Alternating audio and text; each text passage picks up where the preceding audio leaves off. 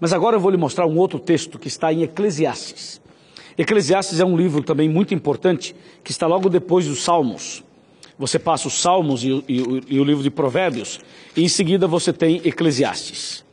Isso está bem aqui. Eclesiastes capítulo 9, versos 5 e 6. Marca, marca, vai marcando tudo. Olha o que diz aqui.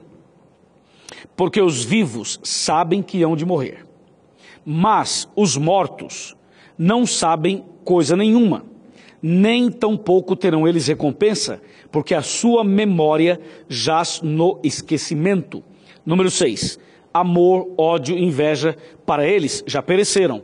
Para sempre não têm eles parte em coisa alguma do que se faz debaixo do sol. Viu? Esses dois versos, eles são assim tremendaços.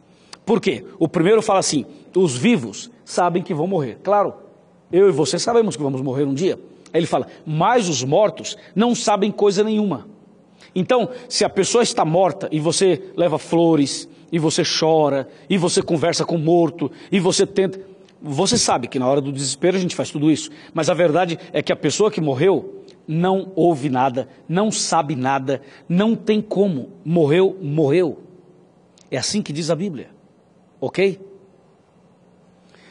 A Bíblia é clara quando fala assim: amor, ódio, inveja, para eles já pereceram. E a Bíblia continua no verso 6 ao dizer o seguinte: para sempre não tem eles parte em coisa alguma do que se faz debaixo do sol.